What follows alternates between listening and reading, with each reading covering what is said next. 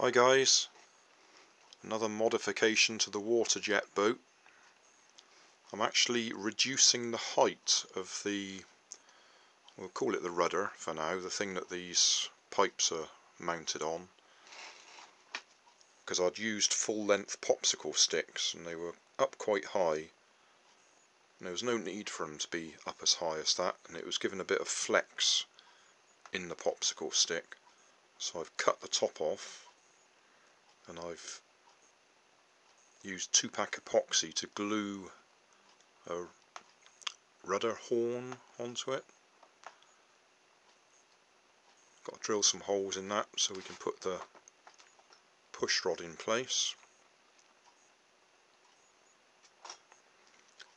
I'm also thinking about actually putting a rudder on the back of here so if I get a problem with the pump getting blocked again I can actually flap it back to the side of the water using it as a paddle.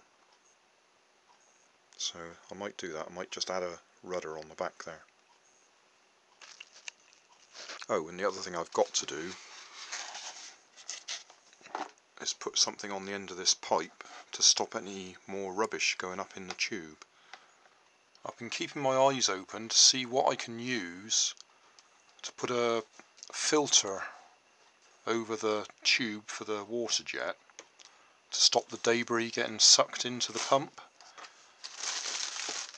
And in Poundland today I noticed these scourer pads. Haven't opened them yet to check but I think they might do the job. I can just cut a big square and hot glue it right over the back here that will cover the little inlet hole there and that should stop any weed or leaves or anything being sucked in.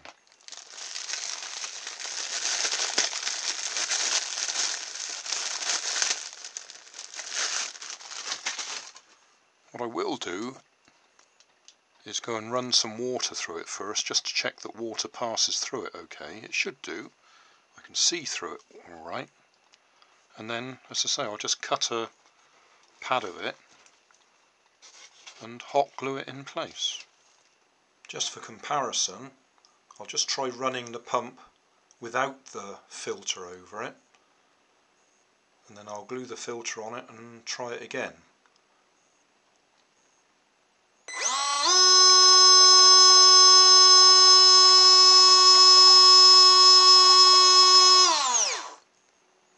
Go, what I've done is glued a very large pad of that scouring pad over the inlet of the pump.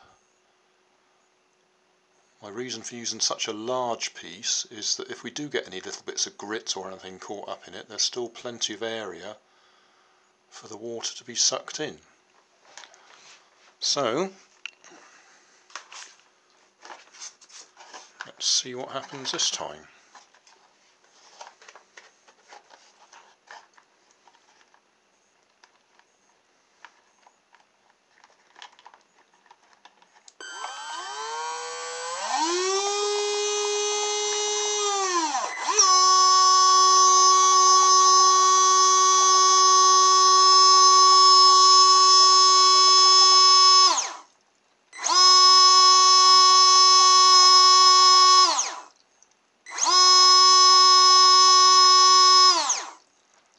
Looks exactly the same strength of jet.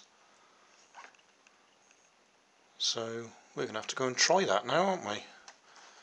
Out on the pond.